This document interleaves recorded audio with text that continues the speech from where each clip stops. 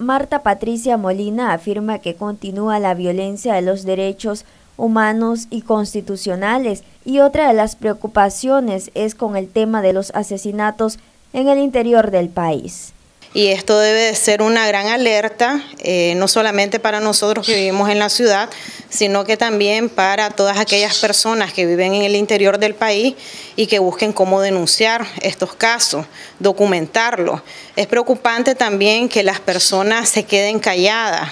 yo sé que a veces eh, uno se siente frustrado y decir que no hay instituciones, y eso es cierto, aquí no hay instituciones donde nosotros podamos ir a interponer una denuncia formal y que la autoridad competente te dé respuesta a cómo sucede en cualquier Estado de Derecho. Pero las personas, lo que tenemos que hacer en este caso, cuando nos sintamos vulnerados, cuando se nos asesine a un familiar o, este sea eh, que se meta preso a determinada persona, se tiene que documentar documentar e ir a las instancias correspondientes, en este caso a las organizaciones que defienden derechos humanos, pero también auxiliarnos de todo lo que es las redes sociales, porque en algún momento todas estas denuncias nos van a servir o van a servir a los futuros gobernantes de este país para hacer una investigación exhaustiva eh, de determinado comportamiento ilícito y que las personas que estuvieron involucradas en, este, en esta situación